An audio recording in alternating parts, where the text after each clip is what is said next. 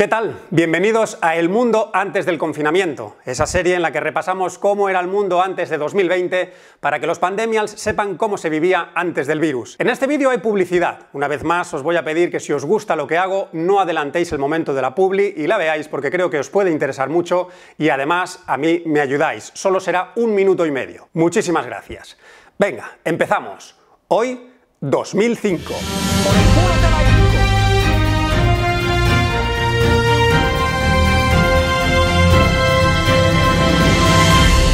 Mundo antes del confinamiento. 2005. El 19 de enero de 2005, Airbus presenta el A380, un avionaco de 70 metros de largo, 80 de envergadura y un peso de más de 500 toneladas, contando a los 500 pasajeros y con capacidad para 248 toneladas de combustible. 248.000 litros de combustible. Si ese avión se estrellara contra el suelo, sería lo más parecido a un meteorito impactando contra la Tierra. Solo que con tanto combustible, esta vez los dinosaurios estarían en el otro equipo. El 27 de enero se cumplen 60 años de la liberación de Auschwitz. Si lo piensas, en el aniversario solo estarían los que eran niños en Auschwitz. Joder, debe ser una putada que a tus 75 años sigan recordándote la infancia de mierda que tuviste. Es que lo peor de vivir algo como el holocausto es que te lo van a estar recordando hasta el día en que te mueras. Ana Frank no sabe la suerte que tuvo. Joder, ya. Pues sí que empezamos bien. ¿Qué? Ahí en un centro comercial tirando de wifi público, ¿no? Pues ahora mismo la seguridad de tu móvil es algo así.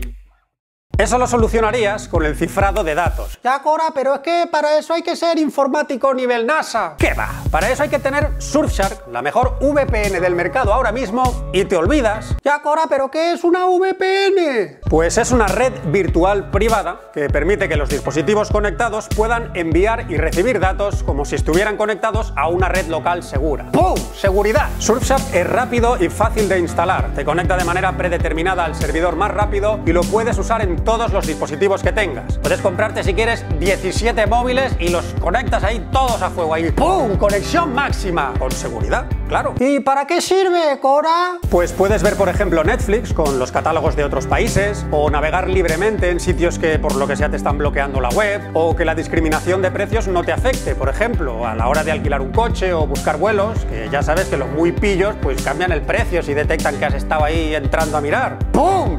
Ya no te bloquean eso. Además, Surfshark te garantiza la devolución del dinero en 30 días si no estás satisfecho y tiene atención al cliente 24 horas. No necesitas registrarte y vale para todas las plataformas y sistemas operativos. Utiliza el código Canal de y consigue 3 meses gratis. Sí, sí, tres meses gratis. Navegar por internet al fin y al cabo es compartir información y puestos a hacerlo pues mejor de forma segura y, de incógnito. ¡Pum! Con Surfshark. El 1 de febrero se descubre el gen que desencadena en el cerebro el inicio de la pubertad. El gen de la pubertad es el jefe nuevo que llega a la empresa y empieza a hacer cambios estructurales para demostrar que vale. Quiero más pelo en piernas y sobaco. 1,30, pero qué puta mierda de altura es esta. A ver tú, ¿en qué estás pensando? En jugar, señor. Pues cámbialo por sexo, a ver qué pasa. Los vídeos más vistos de 2005, el primer año ya con YouTube, fueron el del chico con la gorra este tocando la guitarra, el vídeo musical de Bohemian Rhapsody, el del chico este haciendo el Billie Jean con beatbox, el Mia de Zoo de uno de los de YouTube, uno que se llama Hey Clip de unas amigas haciendo como un videoclip, supongo, o uno que es una animación cutre de un italiano que no se hace entender muy bien con su inglés.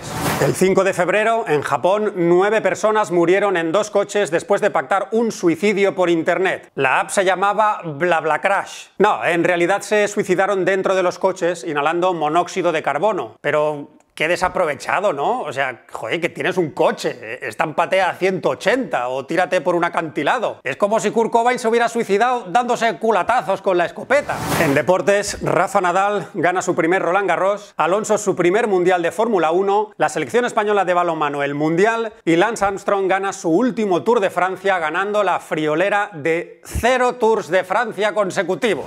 El 7 de febrero de 2005, la británica Ellen MacArthur bate el récord de la vuelta al mundo en solitario en un velero y deja la marca en 71 días y 14 horas. Nada más tocar tierra gritó ¡Julio Verne me come el coño! Los memes que hicimos polvo en 2005 fueron el Nerd on Computer, el Stop Being Poor de Paris Hilton, el Day Taking the Hobbits to Isengard, que alguien convirtió en un mix sin sentido, se hizo viral combinar GIFs, como este por ejemplo, y terminaremos con los eternos Afro Ninja, Charlie the Unicorn y Crying While Eating.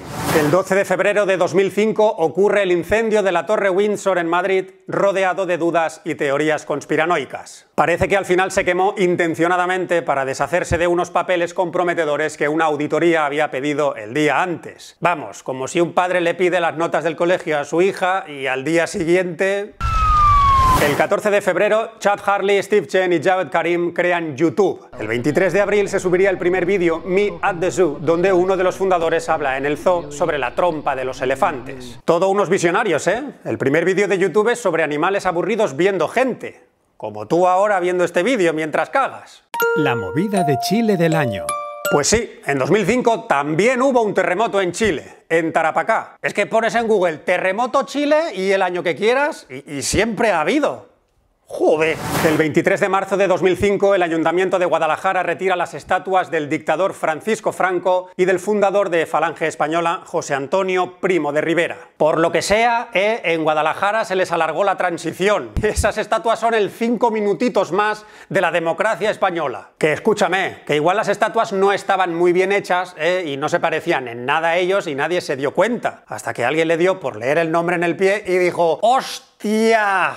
La buena noticia del año.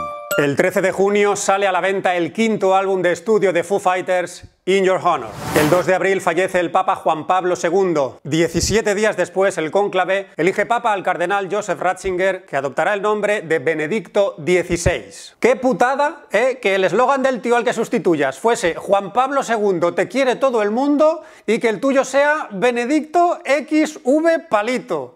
Es como que tu pareja tenga a su ex en el móvil como peluchito y a ti te tenga como Juan. El 9 de abril de 2005 se celebra la boda entre el príncipe Carlos de Inglaterra y Camila Parker Bowles tras 30 años de romance no aceptado por la opinión pública. ¿Cómo han cambiado las monarquías en unos siglos de nada? De, de tener derecho a violar a una mujer del pueblo recién casada en su noche de bodas sin permiso a tener que esperar 30 años para pedirle permiso al pueblo para poder casarte con tu novia.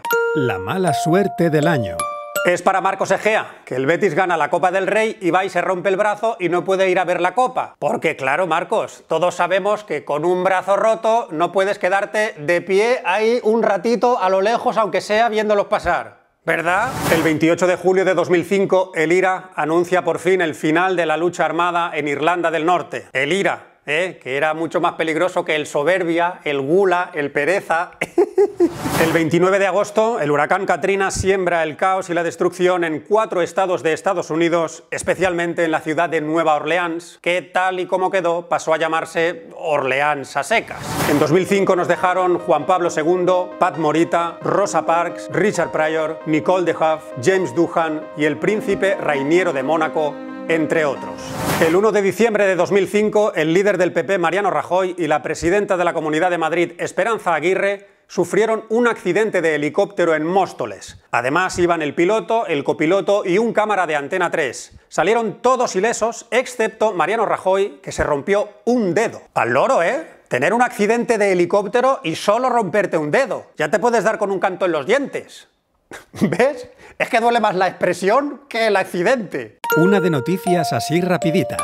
El 11 de febrero se encuentra en la Patagonia el primer yacimiento de huevos de dinosaurio fosilizados con embriones en su interior. El 16 de febrero entra en vigor el Protocolo de Kioto, Convenio Mundial para la Reducción de Gases para el Efecto Invernadero. El 22 de abril se aprueba en España la ley que permite el matrimonio entre personas del mismo sexo. El 13 de junio Michael Jackson es absuelto de todos los cargos que se le imputan, entre ellos retener a un menor, intento de abuso y abuso de menores. El 7 de julio mueren 56 personas y 700 resultan heridas en el múltiple ataque terrorista de Londres. El 28 de septiembre se fotografía por primera vez a un calamar gigante vivo. El 22 de noviembre Angela Merkel es la primera mujer en ser elegida canciller de Alemania. Y el 2 de febrero Alemania superaba los 5 millones de parados, cifra récord desde la Segunda Guerra Mundial. Bueno, Para los famosos 6 millones de la Segunda Guerra Mundial, no creo que parados sea la palabra. ¿eh? Igual alguien se ha pasado con el eufemismo. ¿Por qué? ¿Qué he dicho? La noticia relevante del año.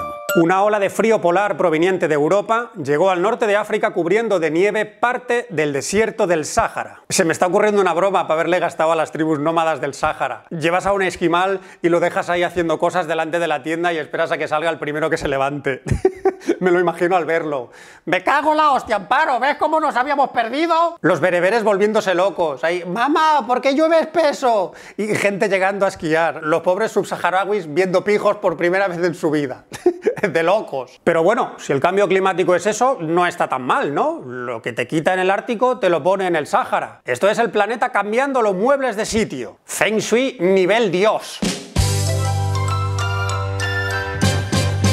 Hablando de Dios, igual era él echando queso por encima a punto de gratinar el desierto. Pues ya estaría. Muchísimas gracias por llegar hasta aquí. Ya sabes, si crees que hay algo que no puede faltar en un resumen de 2004, déjamelo en los comentarios. 2004, ¿eh? El primer año ya sin YouTube. Bueno, el último año sin YouTube en realidad. Bueno, da igual, que gracias por todo. Os quiero. Adiós.